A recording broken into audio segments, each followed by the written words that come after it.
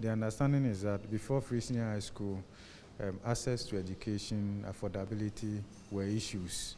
But now that it has been made free, the expectation is that you are likely to get people graduating from the senior high school, entering the tertiary institution from very low income uh, uh, uh, level or practically with nothing.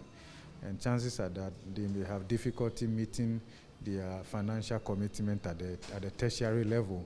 So we expect that, that even now we, we, we, we have several encounters, but we expect that this, this may increase because of the, uh, uh, the effect that um, Free Senior High School would have. Positive though in terms of getting people from practically no low income level through to the tertiary level, but then the challenge of meeting financial obligations at the tertiary level would then show up because there is not free.